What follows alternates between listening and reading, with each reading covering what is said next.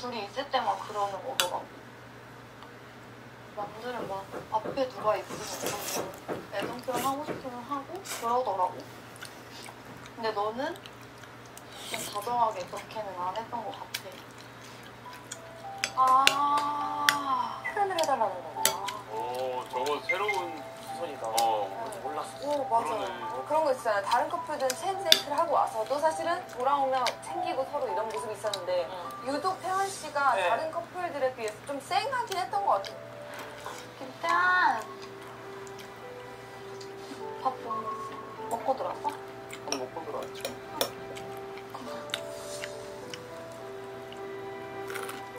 태환 씨를 챙긴다는 느낌을 사실 받지는 못했었거든요. 그래 맞아. 근데 원래 너는 그렇지 않았으니까 내가 되게 충격을 많이 받았어. 몰라. 약간 이거 확실하게 정하자. 그러면 지금 헤어진다는 결론을 내리면 헤어진 상태로 연인을 시